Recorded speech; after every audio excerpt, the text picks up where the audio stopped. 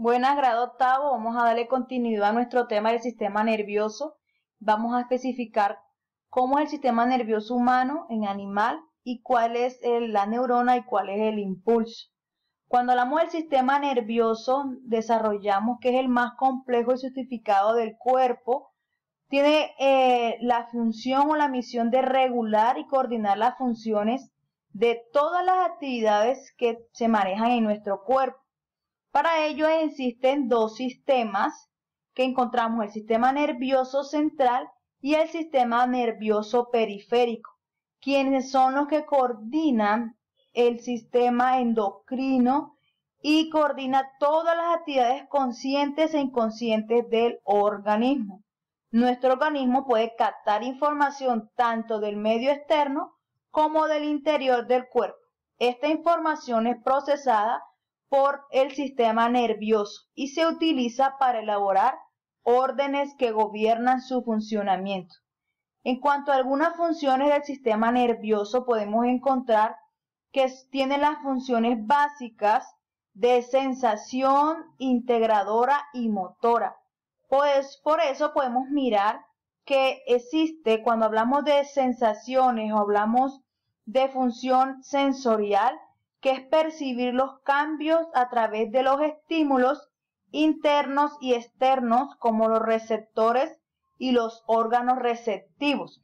También influyen en una amplia gama de factores físicos como son la luz, la presión y la concentración de, de sustancias.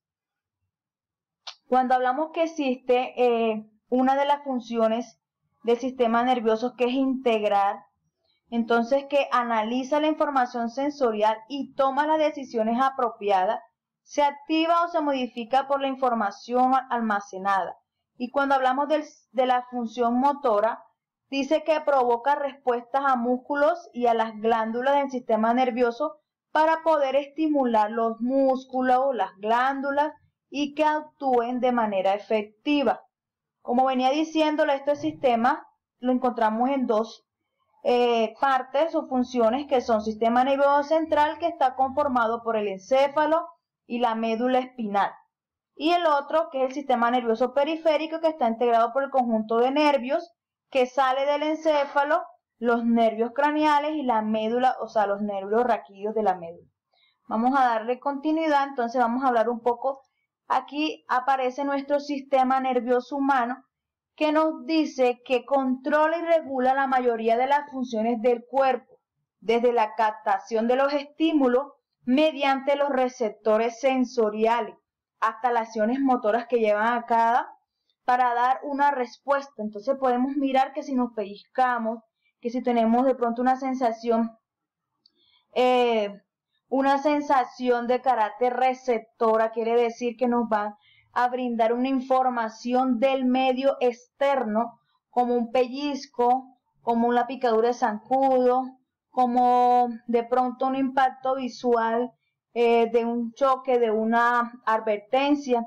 Entonces, todo eso van a ser unos estímulos mediante los receptores y van a captar esa información y la van a enviar hasta por medio de las neuronas, la van a enviar a toda la médula espinal para que puedan ser citadas hasta nuestro cerebro.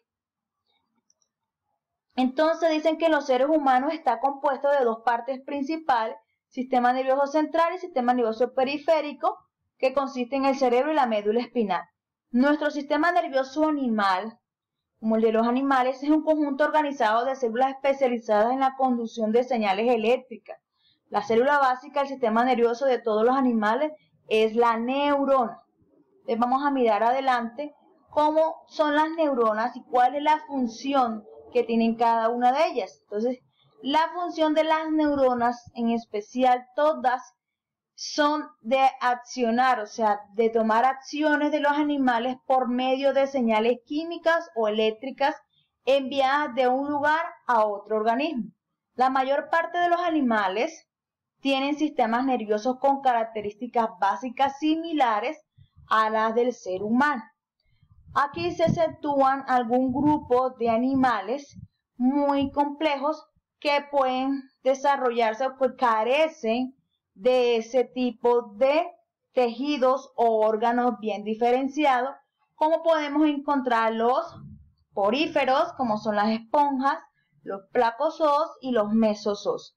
Aquí podemos mirar una de las imágenes de cómo está conformado el cerebro, ¿sí? el encéfalo de una rata.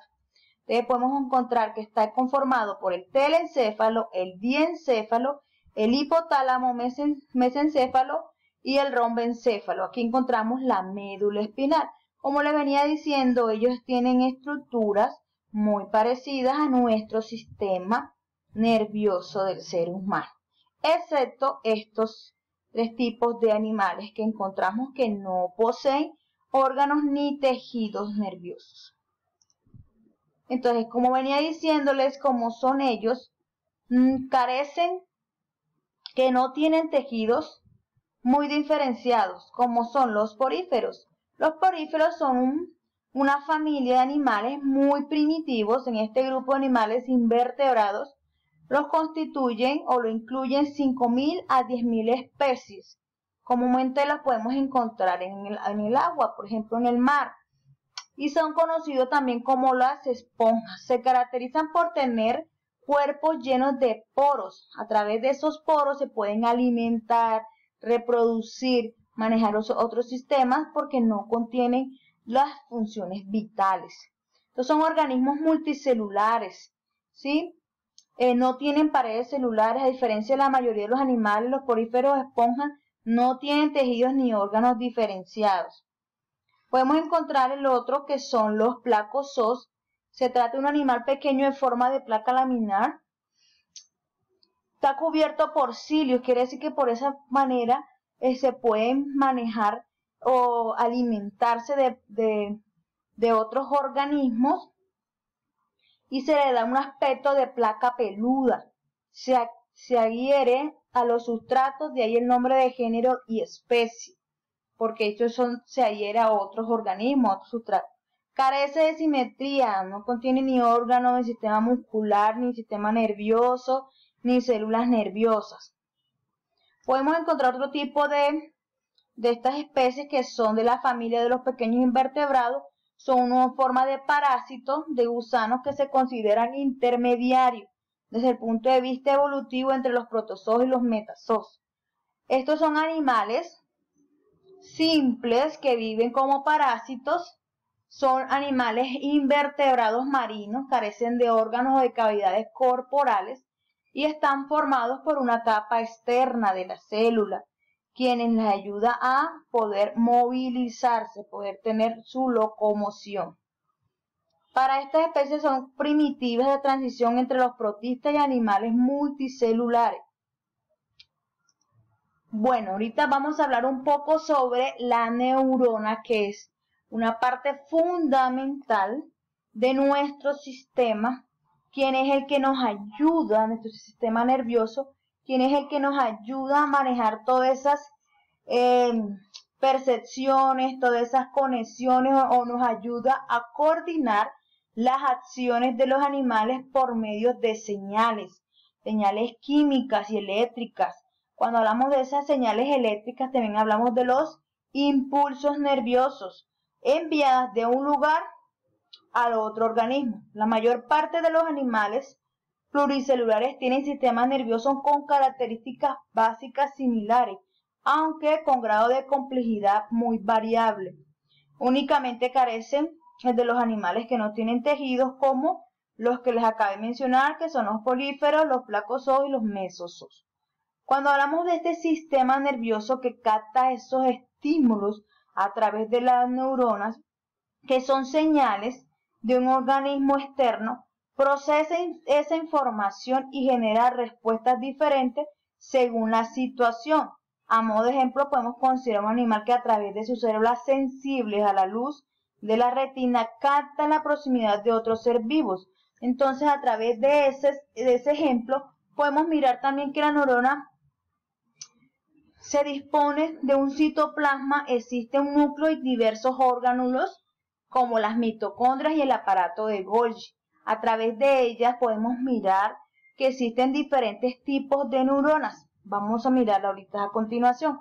Una neurona está comprendida principalmente de dos partes, que son las dendritas y el axón. Vamos a mirar. Entonces, aquí podemos encontrar una neurona.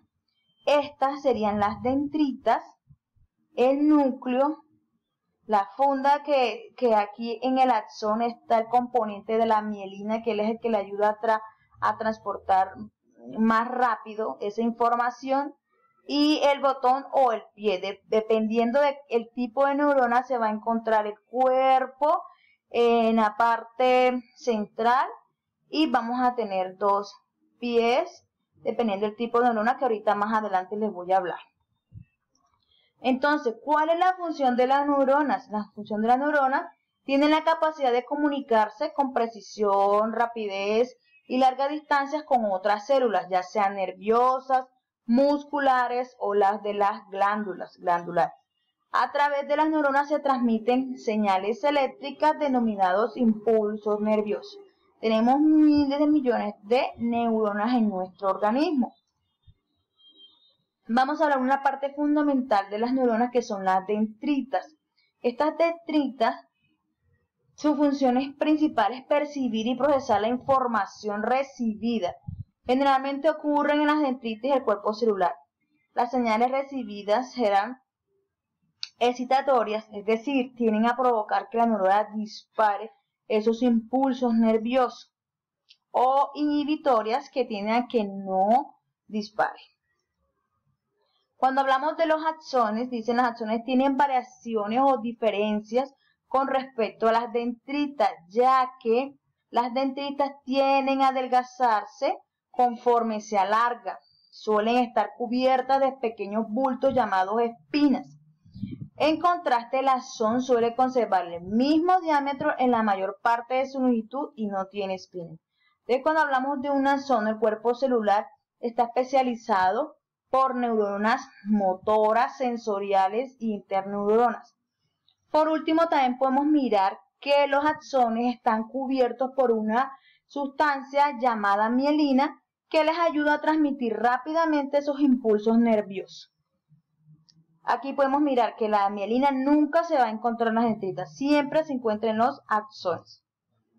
¿Cuáles son los tipos de neuronas? De acuerdo con las funciones, las neuronas se encuentran en el sistema nervioso humano, pero se pueden dividir en tres tipos de neuronas. Las sensoriales, las motoras y las interneuronas. Cuando hablamos de estas neuronas sensoriales, hablamos de neuronas que captan o reciben esa información sobre lo que está sucediendo dentro y fuera del cuerpo. Lo llevan hasta el sistema nervioso central para que pues, se pueda procesar. Entonces podemos mirar cuál es una de las funciones o cuáles son las partes. Este sería una neurona sensorial que comprende de dos pies y el cuerpo. Podemos encontrar aquí las dendritas, aquí serían los pies y este lado serían las dendritas, ¿sí? ¿Por qué? ¿Por qué sería esa, de esta manera? es una manera sensorial porque capta la información desde los dendritas y pasa esa información hasta el cuerpo donde se encuentra el núcleo. Vamos a mirar ahorita aquí un ejemplo que si tenemos o recogemos un trozo de carbón caliente, las neuronas sensoriales que tienen terminaciones en la yema de tus dedos, transmiten esa información al sistema nervioso central del que está el carbón muy caliente. Esas terminaciones se conectan desde, desde los dedos, ¿sí? Y transmiten esa información a través de las dendritas. Podemos mirar otra de los tipos de neuronas que son las neuronas motoras. Estas neuronas obtienen la información de otras neuronas y se transmiten órdenes a los músculos, órganos y las glándulas. Por ejemplo, continuamos con el, ejemplo que tenemos anterior. Recogemos ese trozo de carbón caliente, ¿cierto? Las neuronas sensoriales lo, lo toman eso. Cuando llegan las neuronas motoras, captan esa información de esas neuronas sensoriales que inervan los músculos de tus dedos y causarían que tu mano soltara ese carbón caliente. Aquí podemos encontrar este músculo que está contraído, ¿cierto? Y podemos mirar que esta neurona sensitiva capta esa información luego lo lleva